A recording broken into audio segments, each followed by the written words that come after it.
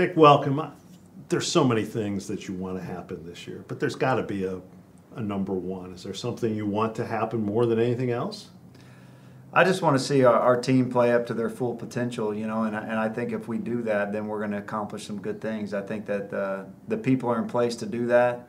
Uh, the coaching staff, the players, the the way we've recruited, the expectations of the program. So um, I think if if we, we look back and we we play good football and, and we maximize our potential, um, I think we can have a really good year. I really do. I think that we we've talked about it, what the expectations are of the program, what the standards are, and that's competing for a Missouri Valley Conference championship. You do that, you put yourself into accomplishing a lot of goals. You're you're going to make the playoffs, put yourself in that hunt and then you put yourself in the tournament to win a national championship. And those are the three things that are at the, the top of our standards. It's playoff berth, a conference championship, and ultimately a national championship. So um, I'm excited to get this season going. I'm excited about this group. Every year is different, but uh, I'm really excited about this group. Don't you feel you have the best defense that Southern's had since it made the playoffs last in 09? I think so, but you know, when you sit here and it's uh, you got 11 games to go and you haven't haven't proven anything really on, on it's all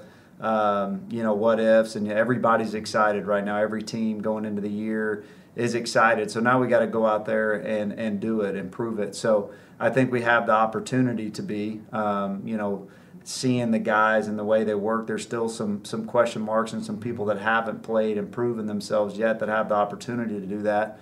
But I do. I think year three with Coach Paulson, the way that we've developed and played young players, and uh, just seeing how great defenses are experienced. Obviously, they have the athletes and the athleticism and the playmakers over there, which I feel like we have. But it's also about playing smart. It's not always about playing hard and with great effort. That that is the, fir- the the first thing that you have to do. But then you got to be smart football players, and you got to be in the right spots, and, and you got to play together, and you, you got to overcome adversity. And so um, I think that our, our group of de- the defensive group has an opportunity to be pretty special. You're back to calling plays on offense. Is that significant? Well, I've always been an offensive guy. You know, I've always set in on on offensive game planning. The first year uh, John and I kind of cold called it, which is different than just completely calling it when you're just an offensive coordinator and that's all you have to worry about. So this will be the first time as a head coach that i am back as being the offensive coordinator, which running the offensive meetings, mm-hmm. the quarterback meetings.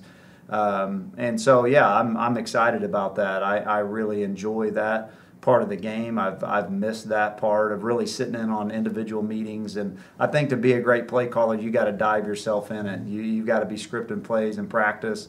Uh, you got to be sitting in there, you know, every day with the quarterbacks and knowing what they like, what they don't like. It's hard to just have a um, step back approach at practice or within you know the practice settings and then try to go call a great game on Saturday. So I'm excited about getting back out there you know, having an experienced guy on the defensive side like Coach Paulson that you really trust helps in that, uh, making that type of decision. So, um, looking forward to it and, and feel like it was best for the team. Is quarterback Sam Straub poised for a big year?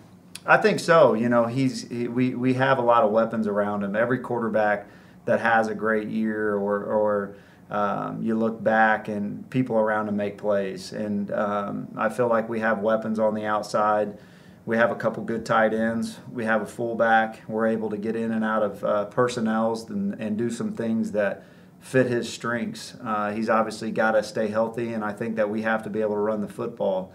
I think whenever you, you think of teams that are, we're not just going to get wide open and just throw it every down. You know, I think you, you put yourself at a position to take sacks, and, and so we're going to run the football.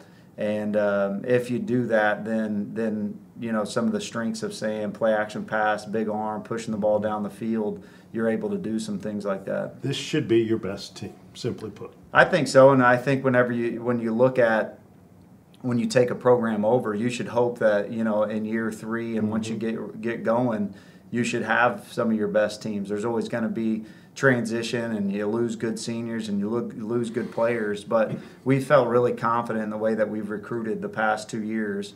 And now those guys have really been able to develop and be in your program and should be your best players. Now we have some, you know, 14 seniors that have been here.